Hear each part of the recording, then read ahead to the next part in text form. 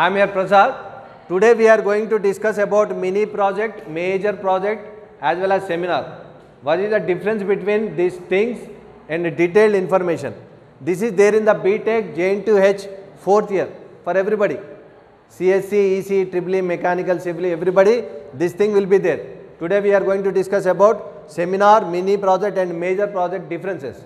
Right? In every document before that you need to prepare PPT, PowerPoint projector, right? PowerPoint presentation. Here in seminar, yesterday in the last video also I told you 10 to 15 slides you can maintain.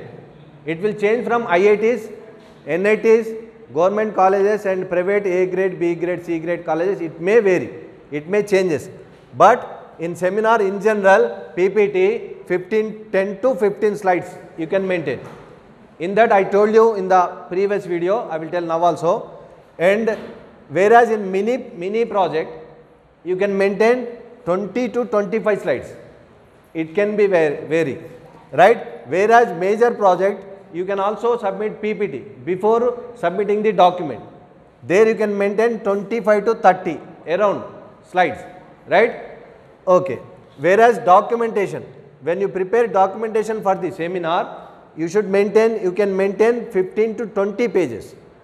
15 to 20 pages approximately, right? Whereas mini project document 50 to 60 pages, it is increased a lot.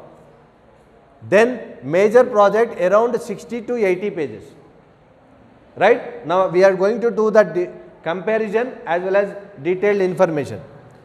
Now coming to title, title font should be around 16 font size.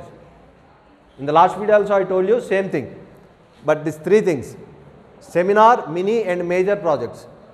And side heading should be around 14 font size. And running matter, the content should be 12. The font style can be Bookman old style. Right? Now the main, main thing difference between these three things is content. What is there in the cover page of the document, the first page should be same. The first page should be same in the cover page. Certificate will be there where you have completed your project. Right? And declaration, acknowledgement, content. In the content that will be varying. In the seminar content will be brief. In, in mini project you should maintain brief code brief code, sample code. Whereas major project, you should maintain the complete code, documentation, test cases, UML, uh, Unified Modeling Language, use case diagrams, everything you should maintain in the major project.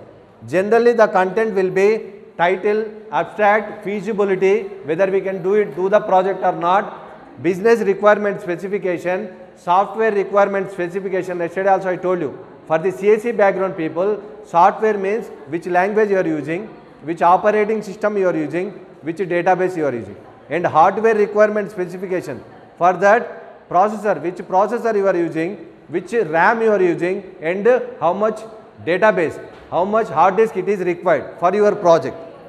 That is hardware requirement. Then designing, designing. Then coding, coding nothing but program. Full code will be there here in major project. Here sample code can be maintained. And test cases, screenshots, figures, right? And UML diagrams. Then references where you have taken this project, right? What are the olden days approach for your title? Your title object will be there. Outcome. For that, what are the olden days approach? What is existing system? Nowadays, how it is executing with a software? And what you are proposing, what you are extending for that? That same thing will be followed in these two things. Right? Then here, the brief thing is certificates, declaration, acknowledgement and content. Content will differ so that the 60 to 80 pages will be increased, here 50 to 60 pages. Right? Then we have abstract, chapter 1, chapter 2, remaining things will be followed. Just like in my previous video also I told you, just like any textbook, how a textbook is designed. The textbook is designed like IEEE, International Electrical and Electronic Engineering. That will be the format. First page and same thing will be here. The content, the remaining things. Here will be content and matter. Last you have index and references, bibliography and what are the extension just like PhD paper publication just like a textbook how textbook is designed.